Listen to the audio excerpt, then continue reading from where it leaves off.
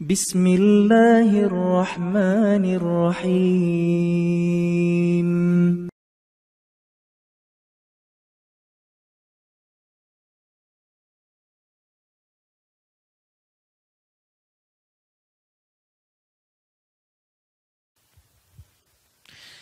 Kita mulai dulu dengan praktek bagaimana cara sujud setelah kita selesai dalam rukuk. Mas Boy, ada hari ini? Di tengah, baik. Silakan Mas Boy. Ada sahabat kita ya. Supaya tidak berganti. Kan bingung yang rukuk Mas Boy, masa yang sujud Doni? ya, sama. Saya masih ingat insya Allah. Mudah-mudahan saya gandeng ke surga insya Allah. Ya, saya duluan, antum belakangan ya. Bismillah. Alhamdulillah. Baik. Posisi ruku. Tayyip. Sebentar. Bangun dulu. Gak usah senyum ya. Sedang sholat. Sedang sholat. Kayak yang kemarin aja ya.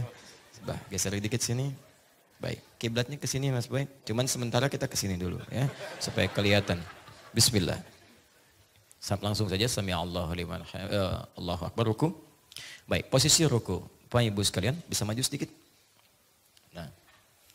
Baik, lihat baik-baik sini. Ini sudah baik, cukup, lurus. Ya, kemarin saya sampaikan, masih ingat ya, ketika akan ruko, lihat baik-baik, jangan langsung berdoa. Ingat, saya pernah sampaikan kemarin, tidak langsung berdoa. Tapi benarkan dulu posisi ruku yang baik itu, supaya sesuai dengan ketentuan yang Nabi tunjukkan. Pertama ingat baik-baik, telapak tangan diletakkan di mana?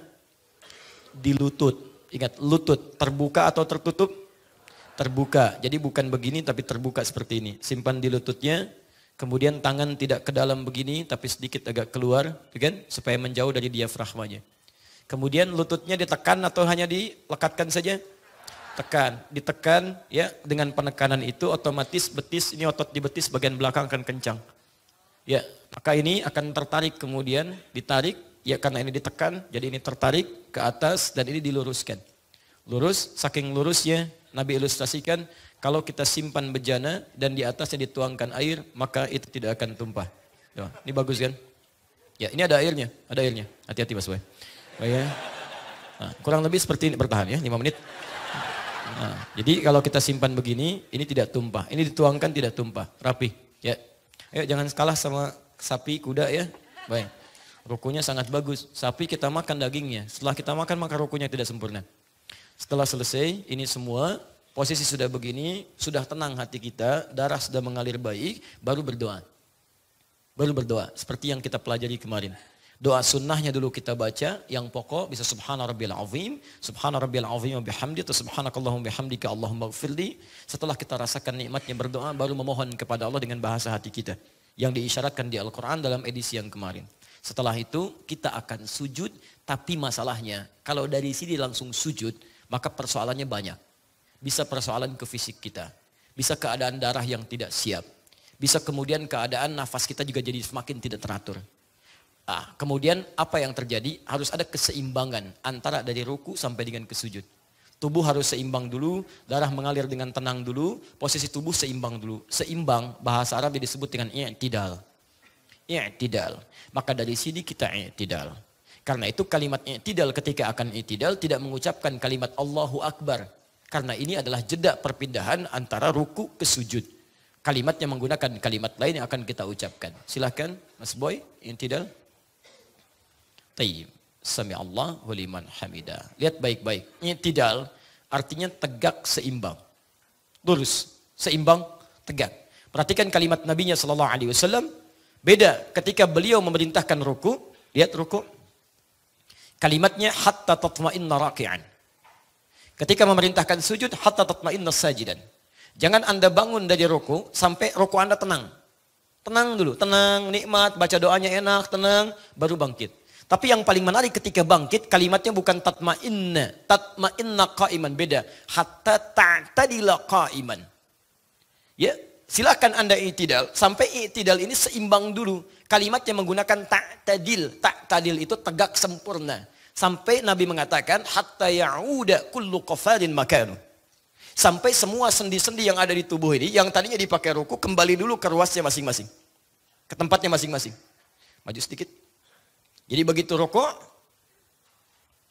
i'tidal, sami Allahu liman hamida, tahan, baik. Perhatikan, ini diminta oleh Nabi tegak dulu sempurna. Ya, kembalikan dulu tegak. Jangan langsung turun, ada jeda sebentar. Ada jeda. Ya, untuk atur nafas dulu sebentar, darah mengalir dulu dengan enak, tenang ya. Kita ucapkan kalau kita imam, ya kita ucapkan sami Allahu liman hamidah. Sambil mengatur kita teruskan Rabbana walakal hamd. Bisa mil'a, bisa mil'u. Kalau mil'u, mil'us samawati wal ard. Kan? Dan seterusnya kalau mil'a, mil'as samawati wal ardi wama bainahuma. Tambahannya cuma ada kata bainahuma di antaranya. Paham?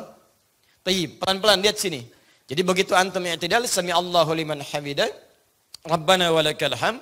Kalau makmum, imam yang sami Allahu liman hamidah, ya makmumnya yang Rabbana walakal ham. Yang paling raji, yang paling kuat, makmum tidak mengulang kalimat sami Allahu liman hamidah, tapi langsung pada kalimat Rabbana walakal ham. Sebagai jawaban dari sami Allahu liman hamidah kalimat imam dan dijawab dengan doa sempurna dari makmumnya. Paham? Pelan-pelan. Nanti saya tuliskan beberapa kalimat i'tidal dan doa-doa yang terkait dengannya. Tapi inti bahasannya i'tidal bangun dari ruku, tegak sempurna, dan ambil persiapan sebelum kita sampai kepada puncak ibadah dalam sholat, yaitu sujud. Nah ini yang menentukan nanti sujud kita itu bisa nyaman atau tidak. Salah satunya dalam itidalnya. Orang yang itidalnya tidak sempurna, pasti sujudnya pun tidak akan maksimal. Contoh, ruku. Itidal. Sami Allah liman hamidah. Sampai sini. Sami Allah liman hamidah. Sujud. Belum tegak, sudah turun. Apalagi hanya sedikit santai. Baru begini, langsung turun. Maka saya pastikan, demi Allah saya katakan, sujudnya tidak akan nikmat. Dan gak akan sempurna. Tegak, sami Allah liman hamidah. Rabbana wa lakal hamd. Mil as-samawati wa mil al-ardi wa bainahuma mil masyita min syai'in ba'du. Tenang, baru kemudian turun untuk sujud. Paham? Ambil jeda, tenang dulu, napas sudah baik, baik ya, sedikit keringatan, tahan. Bismillah. Sekarang kita mulai sujud. Baik. Pertama, hadis riwayat Al-Bukhari nomor hadis 812. Saya sudah tuliskan. Yang ini? Baik. Ya, kita mulai sujud. Perhatikan baik-baik. Hadisnya riwayat Ibnu Abbas radhiyallahu taala anhuma. Saya bacakan hadisnya. An Ibni Abbas radhiyallahu taala anhuma hadis riwayat sahabat Ibnu Abbas radhiyallahu taala anhuma semoga Allah meridai kepada keduanya. Umirna an nasjuda ala sab'ati a'zamin. Kami diperintahkan untuk sujud pada tujuh anggota tubuh. Jadi nanti saat sujud ini akan ada tujuh anggota tubuh yang menempel. Saya ulang, berapa? Tujuh. Baik, dari tujuh ini mana yang mulai menempel ketika turun dari tidak ke tempat sujudnya. Itu yang akan kita mulai dengan hadis riwayat Abu Daud, belum saya tuliskan. Nomor hadis 838 Abu Daud. Nama aslinya Sulaiman As-Sijistani, hafal 500 ribu hadis. Bukan hafal biasa, tapi dengan derajatnya. Ini sahih, ini daif, ini maudhu dan sebagainya. Dan lisannya mudah mengucapkan hadis, lunak. Saking lunaknya kata Ibnul Qayyim Al-Jauziyah, kalau dulu ada Nabi Daud bisa melunakkan besi dengan tangannya, maka ini Abu Daud bisa melunakkan hadis dengan lisannya. Maka dikenallah di masyarakat dengan sebutan Abu Daud. Nomor hadis 838, posisinya di kitab paling kanan sebelah bawah, riwayatnya dari sahabat bernama Wa'il bin Hujur. Wa'il bin Hujur. Yang kedua, di kitab yang sama, nomor hadis 840, sampai 841. Posisinya paling kiri sebelah atas di kitabnya. Riwayatnya dari sahabat Abu Hurairah radhiyallahu taala anhu. Baik. Sebentar, kita akan praktekkan dua hadis ini insya Allah dengan perantara saudara kita Akhiboy. Pertanyaan saya, kalau beliau sujud kelihatan nggak ke belakang? Bagaimana antum bisa mengatakan kan beliau belum sujud? Saya tunjukkan beliau sujud, antum bisa kelihatan. Tolong meja Pak. Awas.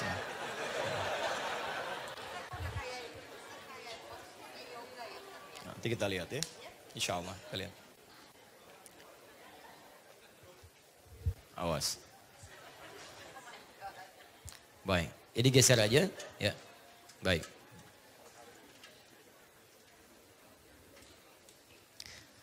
Baik, Alhamdulillah. Baik, nggak apa-apa ya.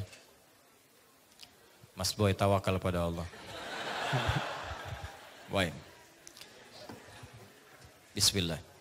Ya. Baik, boleh Bu, silakan. Sebentar ya, ini beliau akan tunjukkan, saya akan bantu bimbing. Insya Allah bisa terlihat dan semoga Allah menerima amal ibadah Mas Boy. Baik, Bismillah. Baik, nggak apa-apa, Bismillah. Antum terbiasa. Nah, jangan katakan tidak kelihatan. Sudah. Dah?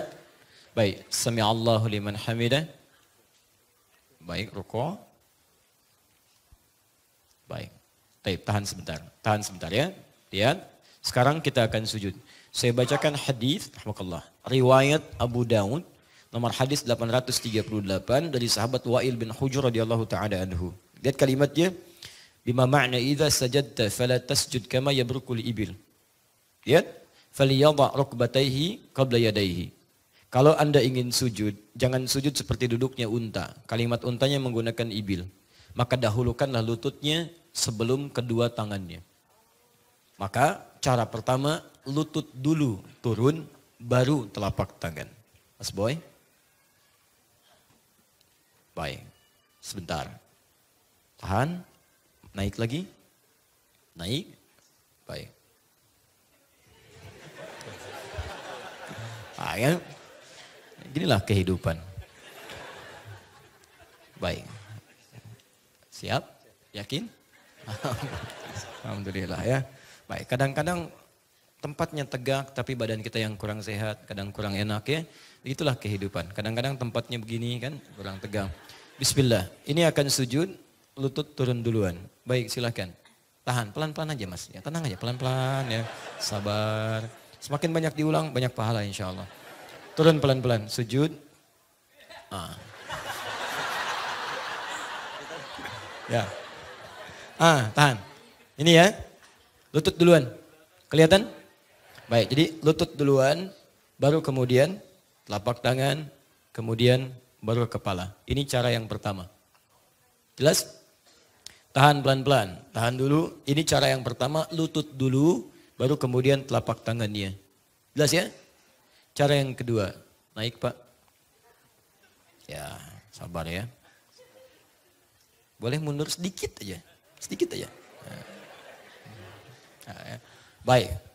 Hadis riwayat Abu Hurairah radhiyallahu taala anhu masih di Abu Daud nomor hadis 841 dari 840 sampai 841. Idza sajadta fala tasjud kama yabrukul ba'ir. Kalimat untanya berubah, ba'ir. Lihat kalimatnya. Faliyadha yadaihi qabla rukbataihi. Kalau Anda sujud, jangan sujud seperti duduknya unta. Silahkan letakkan, dahulukan telapak tangannya sebelum lututnya. Paham? Maka yang kedua, telapak tangan dulu, turun. Tahan. Ah. Yang kedua. Jelas ya? Naik lagi. Bismillah. Turun pelan-pelan, pelan-pelan. Ah. Telapak tangan dulu. Jelas ya? Baru lutut. Nah, sujud. Paham? Baik. Jadi, kalau ada di antara kita, teman-teman sekalian, yang sujudnya kemudian menggunakan lutut dahulu dari yang tidak turun ke tempat sujud, maka dia sedang mengamalkan petunjuk hadis Abu Daud nomor hadis 838 riwayat sahabat Wa'il bin Hujur. Paham? Jika ada yang memulai menggunakan telapak tangan dulu, maka dia pun benar mengamalkan amalan hadis di Abu Daud, cuman beda dua nomor. Nomor hadis 840 sampai 841 riwayat sahabat Abu Hurairah. Jelas sampai sini? Baik, jadi dari tujuh ini kita sudah dapat dua. Baik ya, dari tujuh ini dapat kita bagian, dua bagian. Dua telapak tangan, dua di lutut. Jelas? Taib. Duduk sebentar di sini saja. Nah, sekarang pertanyaan saya, dari dua cara ini, mana yang paling utama? Ruku dengan eh, sujud dengan lutut dulu atau telapak tangan dulu? Yang lutut angkat tangan. Yang telapak tangan? Baik, sisanya kepala duluan.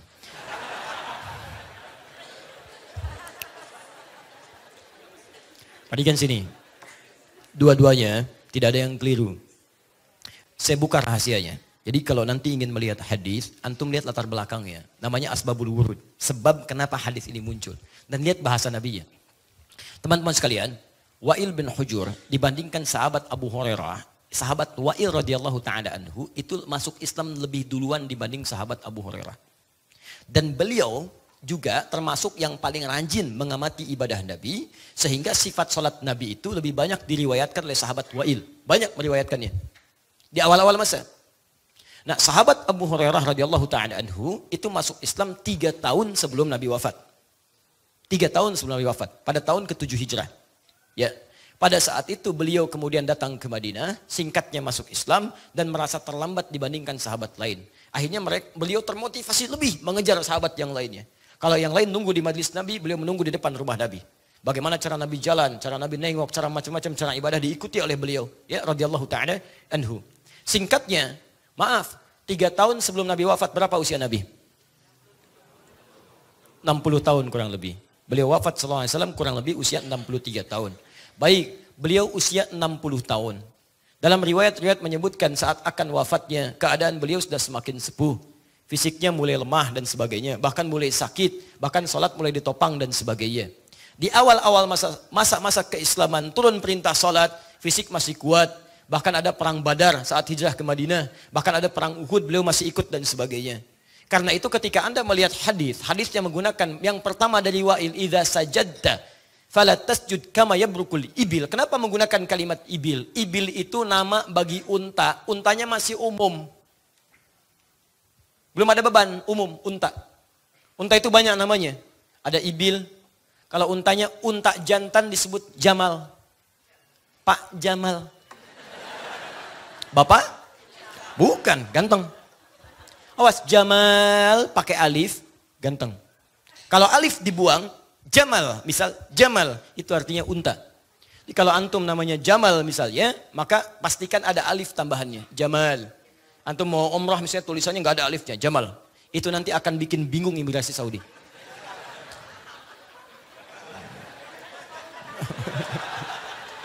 Baik. Ah, Jamal, unta jantan. Unta betina, nakah. Naqatallahi wa suqyaha. Fakadzabuhu fa'aqaruha. Unta Nabi Saleh, unta betina. Hatta yalijal jamalu. Jali, jamal, jamal, unta jantan. Tapi di sini, lihat baik-baik. Ba'ir, unta tunggangan, sudah ada beban. Ketika Nabi menyebutkan pada pertama kali sujud menggunakan lutut, kalimatnya menggunakan ibil, unta umum yang belum ada bebannya. Ingin mengisyaratkan masa di zaman Wa'il bin Hujur itu ada, melihat Nabi dalam hal pertama sholatnya, Nabi menggunakan lututnya. Di awal-awal masa sholat. Ketika kemudian beliau semakin beranjak sepuh, beranjak sepuh dan sebagainya, kalimatnya kemudian berubah ketika menunjuk pada Abu Hurairah. Karena ketika beliau turun lewat sholatnya, kalimatnya kemudian berubah kepada sahabat Abu Hurairah. Dari kata ibil menggunakan kata ba'ir, unta yang sudah mulai ada beban. Pertanyaan saya kepada Bapak Ibu sekalian, ini mohon maaf ya. Ini tidak harus selalu yang sepuh. Ya, biasanya kalau kita sudah semakin bergerak, bergerak semakin senior, senior S-nya banyak sampai sepuh, ya, yang paling punya persoalan pertama apa? Lutut. Lutut. Karena itu ketika akan sujud lutut bermasalah, kalau tidak ada alternatif mau pakai apa? Bisa masalah. Sama persis dengan unta yang punya beban tunggangan. Unta berapa kakinya? Kan. Ah, kalau tidak tahu katakan. Baik. Berapa kaki unta? Allah alam, Masya Allah. Lain kali begini, lain kali kalau main-main jangan cuma dilihat tanyakan pada pawangnya. Saya serius. Kami punya kelas di Tripoli dan juga di Bekasi. Kita kalau sedang praktek tafsir Al-Quran tentang hewan-hewan dalam Quran, kita keluarkan hewannya, kita pergi ke kebun binatang. Saya bikin kelompok. Ini serius. Kelompok unta, kelompok kera, kelompok macam-macam. Terus kemudian analisis. Misal kelompok unta, kenapa Allah meminta menganalisis unta? Afala yang zuruna ilal ibili kaifa khuliqat. Ada apa di unta? Kelompok kera, kenapa Yahudi dikutuk jadi kera, bukan hewan lainnya? Quran surah kedua ayat 65. Kunu kera datang khasin. Kenapa jadi kenapa jadi kera? Dilihat, dianalisis. Antum kenapa disebutkan burung bulbul tidak melihat bagaimana kekuatan daya, daya burung bulbul menjelajah tempat dari negeri Sabah ke tempatnya Nabi Sulaiman. Bagaimana seekor burung kecil punya kemampuan menembus yang demikian. Burung apa itu? Lihat dan sebagainya. Ada pemetaan. Ternyata burung dulu jadi intelijen, jadi pengintai. Sekarang yang manfaatkan itu militer dari kalangan yang lain. Dia pasangkan alat-alat itu untuk memonitor, dia pasangkan kamera selain cincin pada pada burung. Di burung itu kalau dalam penelitian ilmiah dipasangkan cincin untuk dilihat bagaimana migrasinya, ke mana dia terbang. Sekarang digunakan pada dua hal. Pertama untuk spionase bagi sementara kalangan-kalangan negara tertentu. Yang kedua bahkan digunakan untuk membawa virus. Ini yang bahaya. Ini yang bahaya. Tapi kita dulu pernah diberikan isyarat bahwa burung bisa digunakan untuk membawa manfaat. Kalau burung migrasi begini, tandanya apa? Kalau burung cepat keluar, tandanya apa? Ini cuma contoh. Nah, unta ternyata setelah diteliti kakinya dua. Dua. Yang depan tuh tangannya, yang belakang kakinya. Betul. Nanti antum lihat ya, unta satu-satunya hewan yang punya selaput di matanya. Jadi begitu ada badai, langsung nutup, dia bisa jalan. Antum punya Ferrari, Lamborghini, Lamborghini yang macam-macam lah pokoknya. Pakai di padang pasir. Begitu badai, antum diam. Kaya, bagus, mobil mewah. Diam, unta lewat. Masya Allah. Tutup. Unta satu-satunya hewan yang punya tembolok. Bisa menampung air. Sampai tiga bulan dia bisa nggak minum. Antum jangan bangga kalau baru busa puasa. Nggak minum tiga hari, jangan bangga. Unta tiga puluh hari. Baru sebulan.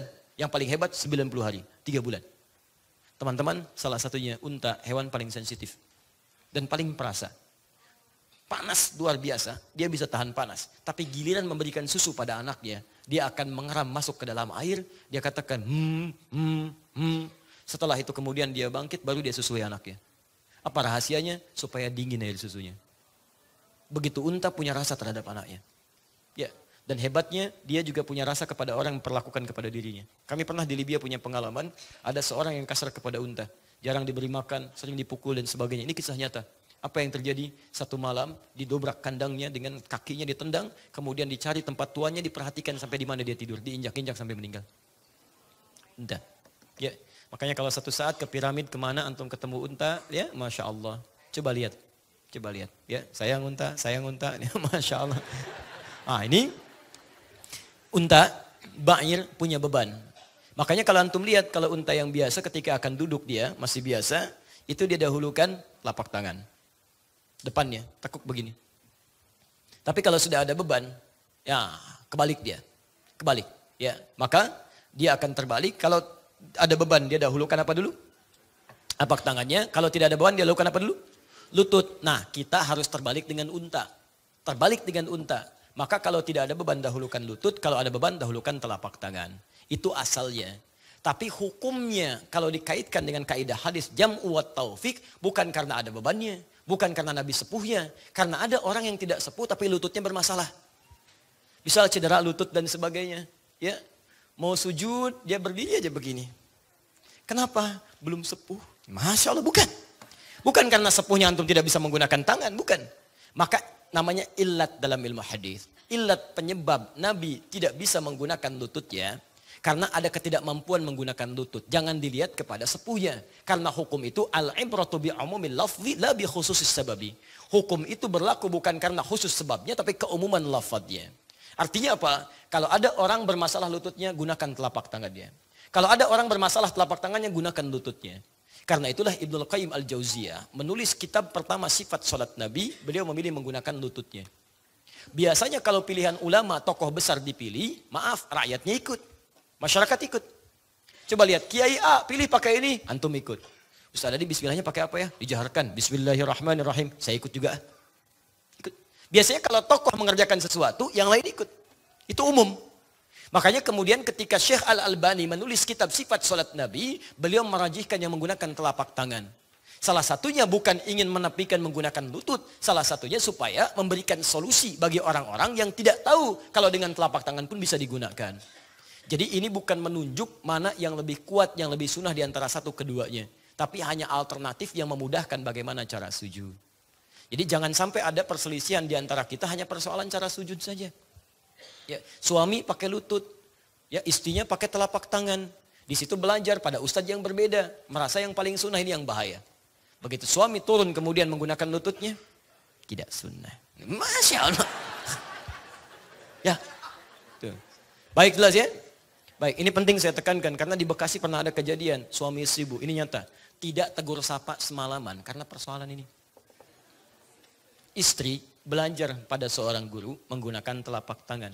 Suami pakai lutut. Ini nyata, saya langsung berkomunikasi. Suaminya pulang telat satu kali ke rumah, terlampau malam karena macet pekerjaan, sampai di rumah belum sholat isya. Begitu sholat di samping istri, istri melihat saat sujud menggunakan lutut duluan. Begitu selesai salam, tanpa mukaddimah. Istri, tanpa mukaddimah, langsung mengatakan, papa sholatnya nggak sesuai sunnah. Tanpa mukaddimah. Suami karena pemimpin, jiwa pemimpin, apa yang paling dominan? Sifat pemimpin? Ah, sifat yang paling dominan, pemimpin tidak mau dipimpin. Makanya ibu kalau punya persoalan pada suami, ingat, pemimpin tidak mau dipimpin, tidak menerima saran, hanya menerima masukan. Makanya kalau Anda ingin masuk pada seorang pemimpin, masuk lewat pertanyaan atau hal-hal yang membuat solusi yang terbaik. Lihat baik-baik, papa sholatnya salah, nggak sesuai sunnah. Maka muncullah pembelaannya. Mama yang belum baca hadis. Padahal dua-duanya gak baca. Gak baca. Besoknya senyum. Ketika bertemu ya, kemudian nanya eh, suaminya kenapa? Ya papa sholatnya pakai lutut duluan. Harusnya sujud pakai telapak tangan dulu. Besoknya saya tunjukkan dua-duanya ada di kitab yang sama. Nih yang pakai lutut paling kanan nomor hadis 838. Yang pakai telapak tangan paling kiri nomor hadis 840 sampai 841. Akhirnya apa yang terjadi dua-duanya? Senyum. Nah, jadi saya mohon maaf ya, ini yang pertama, jangan sampai ketika antum akan sujud, kemudian menghadirkan kebingungan mana yang mau didahulukan. Lutut benar, telapak tangan benar. Yang salah? Ya. Sujud. Kita selesaikan dulu ya. Baik, lihat baik-baik. Sebelum beliau menempelkan keseluruhannya, saya minta beliau duduk sejenak. Lihat sini umirna an nasjuda ala sab'ati a'zamin. Kami diperintahkan untuk sujud pada tujuh anggota tubuh. Satu, alal jabhah, kening.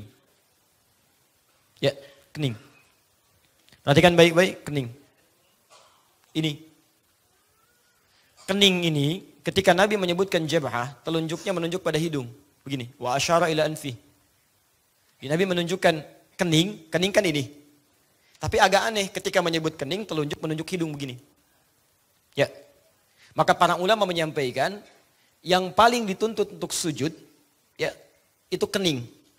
Tapi ukuran sempurnanya kening sujud saat hidungnya itu sama ikut bisa menempel dalam tempat sujudnya. Jadi kalau hidung bisa menempel dalam tempat sujudnya, maka itu pertanda keningnya itu sempurna dalam sujudnya.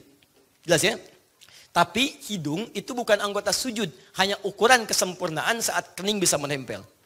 Artinya, kalaupun hidung nanti kemudian saat sujud ya tidak menempel kemudian dalam tempat sujud, itu menandakan sujudnya tetap sah. Jelas ya? Baik, walaupun kalaupun bisa menempel dilakukan dan itu tidak terjadi, maka ini menunjukkan ada yang harus disempurnakan dalam sujudnya. Jelas? Yang kedua, memberikan gambaran bahwa setiap tempat sujud itu bisa berbeda-beda. Kalau tempatnya baik, maka hidung menempel ke tempat sujud itu lebih baik, sempurna. Tapi kalau kemudian di tempat-tempat yang tidak memungkinkan hidung itu menempel ke tempat sujud, itu tidak ada masalah. Misal antum sujud, alasnya misalnya tanah atau pasir. Yang justru kalau kita menempel terhirup sesuatu yang tidak baik. ya Maka antum tidak ada masalah. Ini tidak menempel pun, antum jaga jaraknya, tapi kening tetap menempel dengan dengan baik. Jelas? Hai. Sekarang lihat baik-baik. Kening. Saya buka kening saya. Nampak keningnya? Baik, Alhamdulillah masih ada keningnya. Nah sekarang pertanyaan saya, rambut saya menutupi kening atau tidak? Tidak. Baik. Ada orang yang rambutnya melebihi ukuran rambut saya? Ada, banyak ya. Baik, khususnya kalau perempuan wajar, laki-laki lah, laki-laki. Contoh, saya nggak usah tunjuk, antum nggak usah senyum. Baik ya, baik. Contoh ada banyak di sekitaran kita. Misal, ya, oke, langsung saja. Rugi kalau senyum tidak ditunjuk, Mas. Ah, ya.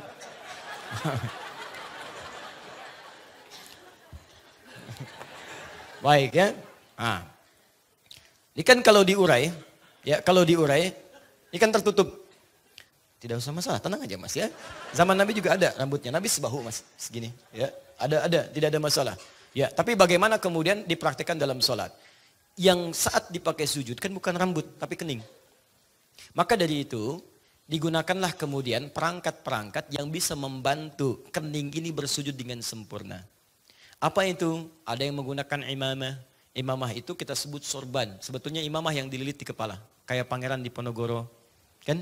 Imam Bonjol dan sebagainya. Ya, Kayak sahabat kita, dai misalnya Agim dan sebagainya. Ya, jadi dililit ke sebelah sini. Itu salah satunya, salah satunya untuk bisa memberikan perlindungan kepada keningnya saat akan dipakai sujud. Sehingga bisa sujud dengan sempurna. Rambut ditutup. Ada yang pakai peci seperti ini, Mas Boy. Ya, peci saya gunakan seperti ini. Nah, jadi peci itu asalnya bukan syarat sah untuk sholat. Hati-hati, antum sholat pun, jadi imam pun gak pakai peci gak ada masalah.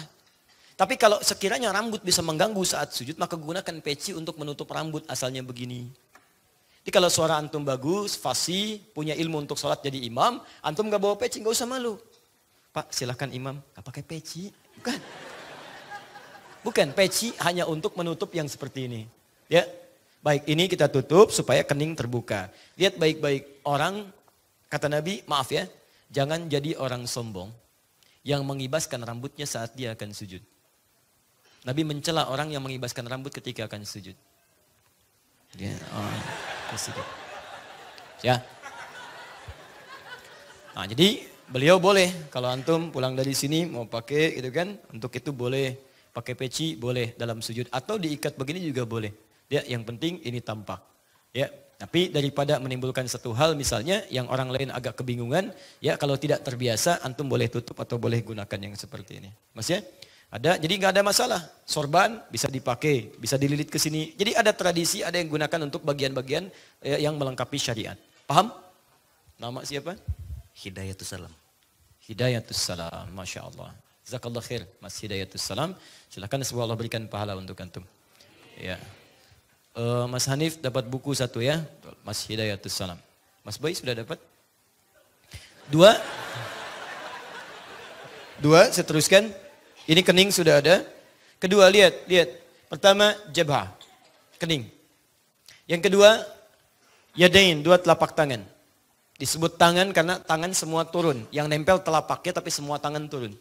Ya, dua telapak tangan nempel. Dua tangan. Di satu tambah dua berapa? Tiga. Dua telapak tangan, sudah. Kening, sudah. Tiga. Rukbatain, dua lutut. Rukbatain, dua lutut. Tiga tambah dua berapa? Lima. Dua lutut. Terakhir, lihat, lihat, lihat. Asabi arijlain. Jemari di dua kaki. Di dua kaki. Dua kaki. Lima tambah dua? Tujuh. Maka jemari di dua kaki itu bagian yang terakhir. Kening, satu. Dua telapak tangan, tiga.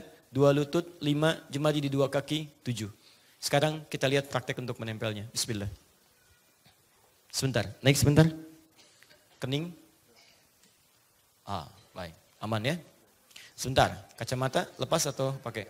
Pakai biasa. Nah, ada dua jenis kacamata. Ya, satu kencang seperti yang beliau pakai dan juga yang saya pakai. Kedua agak longgar.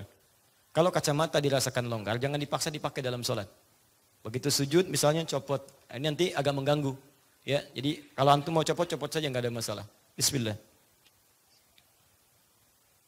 Baik, tahan sebentar ya. Satu, kita lihat dulu posisinya pelan-pelan. Kita mulai kening ini sudah menempel dengan baik, kemudian telapak tangan. Yang paling gampang, telapak tangan ini ketika akan bersujud, apa ukuran lebar dari telapak tangan ini? Lebar telapak dulu. Ya, para ulama mengatakan ukuran lebarnya paling gampang seukuran dengan dipakai takbir. Di saat Anda gunakan takbir begini, Allahu Akbar, itulah kemudian ukuran yang dipakai dalam sujud. Dia tidak terlampau rapat ke sini, tidak juga terlampau lebar ke sini. Paham ya? Ukuran dipakai takbir sejajar dengan misalnya bahu di sini, hadwaman kibaihi, terus sejajar dengan daun telinga di sini, maka itu ukuran digunakan untuk sujud. Paham? Satu. Kemudian sikunya ini itu tidak ke dalam, ini bahaya. Lemaskan. Bukan ke dalam begini, tapi keluar. Ya, jauhkan siku dari diafragma, dari lambung di sini. Bahkan pernah ada yang dihentikan seketika. Biasanya Nabi kalau menghentikan itu selesai ibadah baru diluruskan. Ini tidak. Begitu melihat seseorang sujud tangannya ke dalam begini, kata Nabi, jangan lakukan. Jangan lakukan. Ya, jauhkan, jauhkan siku dari dari lambungnya. Kenapa salah satunya? Karena saat sujud itu darah dipompa dengan sangat kencang oleh jantung, disalurkan kemudian ke otak, ke titik God spot yang paling dalam di sini, Ya, jadi kalau seseorang kemudian mohon maaf ya, mohon maaf, kemudian dia menempelkan lututnya, sikunya ke sini, dibawa ke dalam seperti ini, maka dia akan menahan ya sebagian pergerakan dari darah itu sehingga keadaan di diafragma tertekan jadi sempit. Ini paling bahaya. Nafas bisa sesak bahkan bisa meninggal kalau salah posisi di sini. Maka ini keluarkan sedikit, makanya kalau dikeluarkan ini pasti ada ruang. Ini pasti ada ruang. Dan ruangnya seperti apa? Kata Nabi, kalaulah seekor anak kambing lewat, maka itu akan menjadi mudah bagi dia untuk lewat. Ya. Nah, ini bahasa kiasan. Ingat, ini bahasa kiasan. Bukan antum ingin ukur sempurna. Apa? Mulai besok sujud harus sempurna. Siap mah. Bagaimana caranya? Beli anak kambing. Begitu sujud anak kambing. Tidak ya. Itu bahasa kiasan. Antum begini pun anak kambing gak akan lewat. Gak akan lewat. Nih kurang nih. Kurang. Ya, gak akan lewat anak kambing seperti ini. Ini bahasa kiasan, maksudnya lebarkan, lebarkan. Sehingga ada ruang darah di pompa, agak nyaman keadaan, ini pun bisa nyaman kita sujud. Jelas ya? Jadi jauhkan ini, lebar, teruskan sebentar. Ini karena mungkin saya khususkan mejanya aja.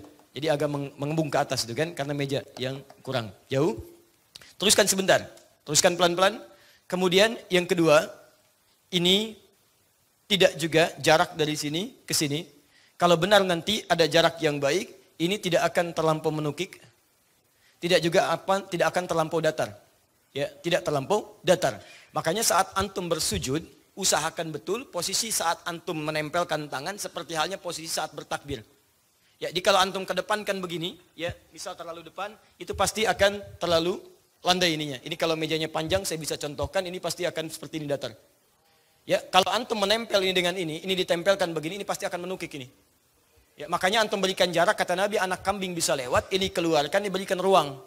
Sehingga ini sempurna. Ya, terbangun satu sudut yang sekiranya tidak terlampau tajam, tidak terlampau kemudian juga rendah. Terakhir, posisi kaki. Kedua, ya, kedua telapak kaki. Sebelah sini dulu. Kelihatan telapak kakinya? Baik, sekarang lihat baik-baik, lihat baik-baik. Ini sudah bagus sekali. Telapak kakinya ketika sujud ini bukan terbuka, tapi tertutup seperti ini. Ya, tahan, tahan. Pelan-pelan nanti kita tukar ya. Sebelah sana tahan dulu bu. Ibu nggak usah begini, gak akan kelihatan bu. Sampai kiamat kurang dua hari gak akan kelihatan ya. Karena ini untuk sebelah sini. Lihat sini. Teman-teman yang sebelah sini, lihat ya. Tertutup kakinya. Jadi bukan terbuka begini, tapi tertutup seperti ini. Jelas? Baik. Bangun Mas Boy. Bismillah. Tarik nafas. Hadap sebelah sana. Baik.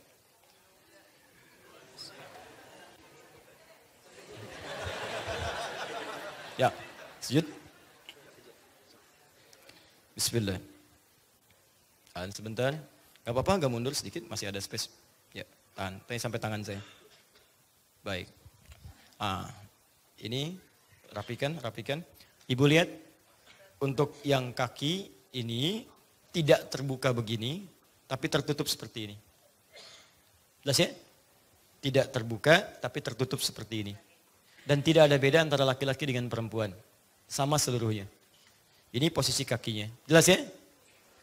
Pala sudah jelas, tangan sudah jelas sampai siku, lutut sudah, ini juga sudah. Posisi ini harus sempurna dulu menempel. Saya teruskan hadisnya. Idza sajadta famakin sujudaka. Kalau Anda sujud, maka tempelkan betul anggota tubuh untuk sujud itu. Jadi Anda jangan dulu berdoa, bukan mengambang tapi menempel. Kening menempel. Setelah itu, lihat hatta tatma'inna sajida. Sampai tenanglah keadaan kita sujud. Jadi antum tempelkan dulu, kalau darah sudah mengalir dengan enak, dengan tenang, baru setelah itu antum berdoa kepada Allah Subhanahu wa taala. Jelas sampai sini? Tayyib. Lihat baik-baik. Nanti saya tunjukkan sisi ilmiahnya. Pertemuan berikutnya saya turunkan doanya Nanti saya undang kawan, seorang dokter juga, yang nanti insya Allah bisa saling menerangkan dan bersinergi apa rahasia di balik kening ini, sehingga dalam posisi sujud darah dipacu dan ada mengalir terpusat ke otak, dan ada satu titik di sini yang sangat menentukan. Sampai disebut dengan titik God spot. Dan cuma Al-Quran yang menerangkan itu, hadis memperdalam, antum akan temukan di kitab lain. Ini yang akan menentukan tentang aspek capaian yang kita raih tadi. Ya, pelan-pelan kita baru sampai sini, kita belum berdoa. Nah, ada rahasia besar dalam sujud yang doa kalau kita panjatkan saat itu, itu berpeluang seketika dikabulkan oleh Allah Subhanahu wa taala. Bagaimana bacaan doanya, seperti apa jenisnya, kita nanti akan teruskan pada pertemuan yang berikutnya di bulan yang akan datang. Ya, ah, Mas Boy.